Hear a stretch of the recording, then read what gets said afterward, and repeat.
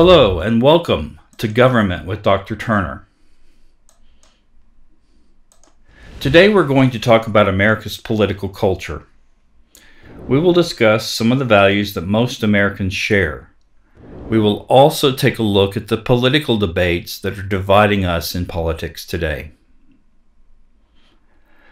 Political culture can be defined as a broad pattern of ideas, beliefs, and values concerning the relationship between individuals and their government.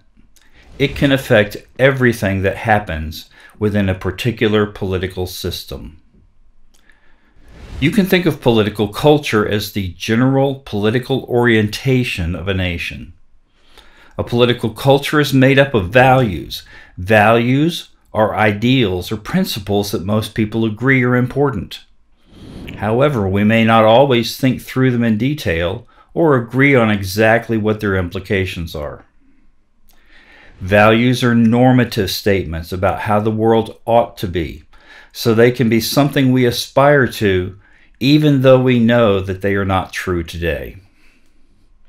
Political culture is handed down from generation to generation, but sometimes when the country becomes politically polarized, we may lose our common language.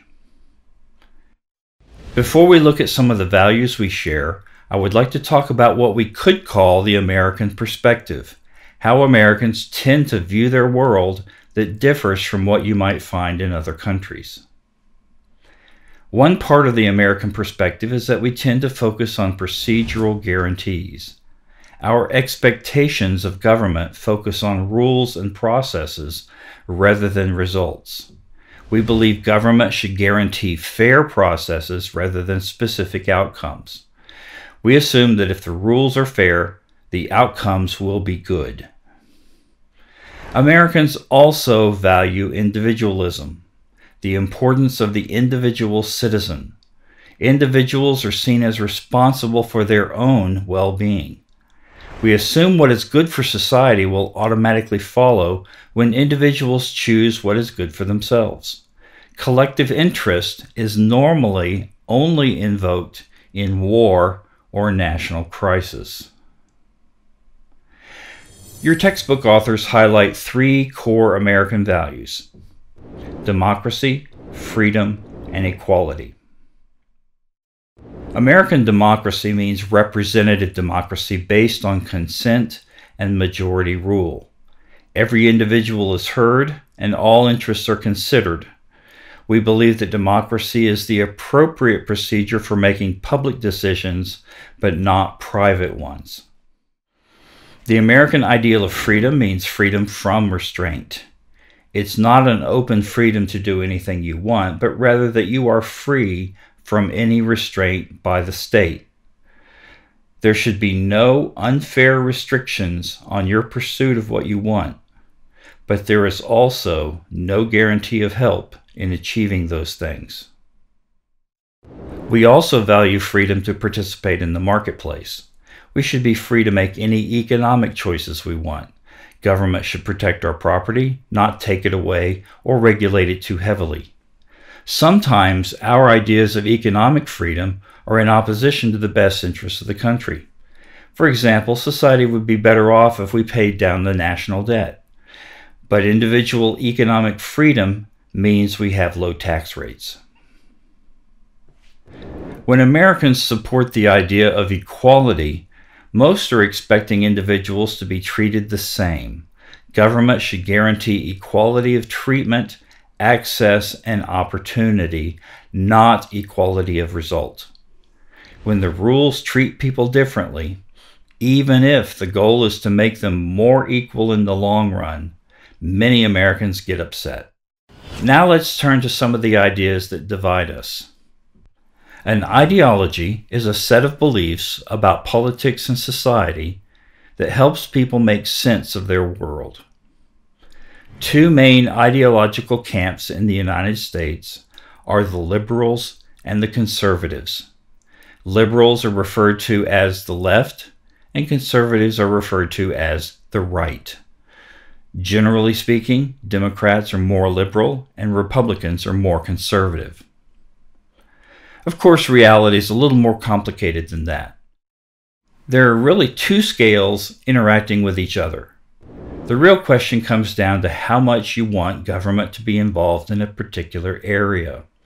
Specifically, do you want more or less government involvement in the economy? And do you want more or less government involvement in social issues? More government involvement in the economy might look like a higher minimum wage, higher taxes for billionaires, more control over corporations, free health care for all, minimum basic income, etc. Your textbook refers to this quadrant as economic liberals, and many Democrats would find this position appealing. Less government involvement in the economy might look like no minimum wage, lower taxes for the wealthy, fewer regulations for business, etc. Your textbook refers to this as economic conservatives, and you might find many Republicans here. But you can also measure government involvement in social issues. More government involvement in social issues might mean stricter drug laws, restrictions on abortion, and traditional gender roles. Less government involvement in social issues might take the form of drug decriminalization, pro choice positions, and support for LGBTQ issues. I have found it usually works well to classify ideological positions as follows. Republicans desire low government involvement in the economy with high government involvement in social issues. Democrats prefer high government involvement in the economy with low government involvement in social issues. Libertarians would prefer to have low government involvement in both realms. Populists would like to see high government involvement in both realms. And there's not too many of these around right now, but there were a lot about 120 years ago. So let's review. Political culture can be defined as a broad pattern of ideas, beliefs, and values concerning the relationship between individuals and their government. The American perspective focuses on procedural guarantees and values individualism. Most Americans share the values of democracy, freedom, and equality. America is politically divided today between liberals and conservatives.